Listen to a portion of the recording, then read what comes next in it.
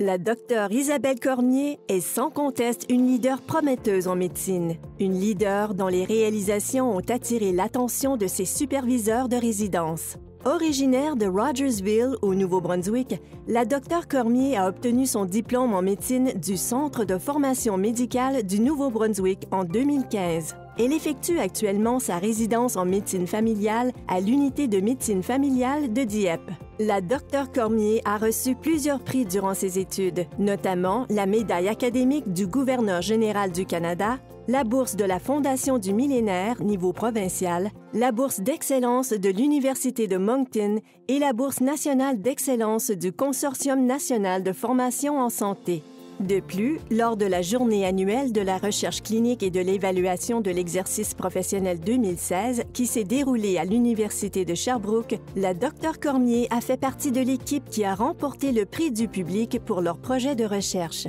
Dans sa localité, la Dr Cormier a déjà été membre du comité de la stratégie jeunesse d'entreprise Kent dans le comté de Kent. Elle a également été animatrice bénévole de la Journée mondiale de l'hypertension au Centre de santé de Rexton. Elle a reçu le prix d'excellence du Nouveau-Brunswick pour son engagement communautaire en 2011 et en 2012, elle a été nommée bénévole de l'année en médecine au Gala para-académique de l'Université de Moncton. La Dr Cormier aime voyager à l'étranger et elle a fait deux voyages humanitaires au Pérou et au Népal. Elle s'intéresse également au chant, à la musique et aux activités de plein air.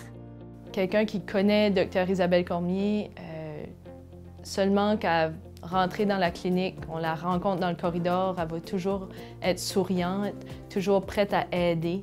Euh, elle connaît tout le monde. C'est pas rare non plus qu'elle va voir des patients, euh, puis elle va connaître soit la famille, puis elle va vraiment pouvoir intégrer le, le contexte familier ou plus personnel du patient dans son approche avec les patients.